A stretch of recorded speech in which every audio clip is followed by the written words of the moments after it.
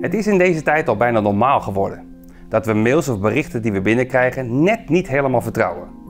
Maar met steeds nieuwer wordende technieken wordt het ook lastiger om het juiste mailtje te onderscheiden van het nepmailtje. En hoe ver gaan we met het opleiden van medewerkers of het vertrouwen van protocollen die binnen de organisatie gelden? Weet jij precies bij wie je het meldt dat je toch op dat mobieltje op die aantrekkelijke link hebt geklikt?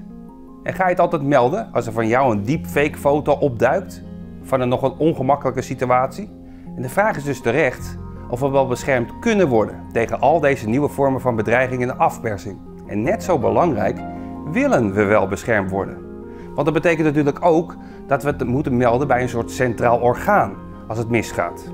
De IT-dienstverlener zit momenteel in een flinke spagaat. Natuurlijk wordt die geacht middels procedures en technieken om systemen veiliger te houden. Sterker nog, er ploppen allerlei nieuwe functies op, zoals een heuse security manager.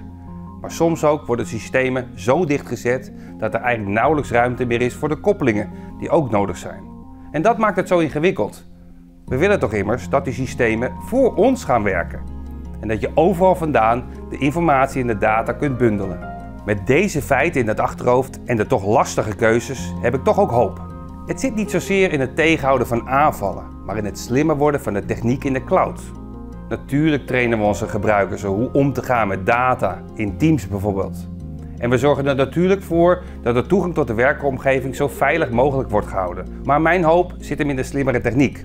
Anders kijken naar de beveiliging en dus ook anders omgaan met de excessen en de kansen die we juist wel willen invullen met de grote hoeveelheid data die beschikbaar is. Bij Winsys volgen we dan ook een tweesporenbeleid. Een koers die zelfs binnen onze organisatie merkbaar is, laten we zeggen een gezond spanningsveld. We moeten kunnen vertrouwen op de machine learning van onder andere Microsoft. Maar ook moeten we de ruimte kunnen bieden om systemen met elkaar te laten praten in de cloud. Vertrouwen op techniek. Het is best lastig. Maar al sinds ons bestaan hanteren wij het KISS-principe en blijven we eerlijk naar onze klanten en onze partners. We zijn geen Chinese muur, maar we zijn ook geen Twitter, maar een Hollandse nuchtere organisatie die doet wat kan en soms het onmogelijke toch mogelijk maakt.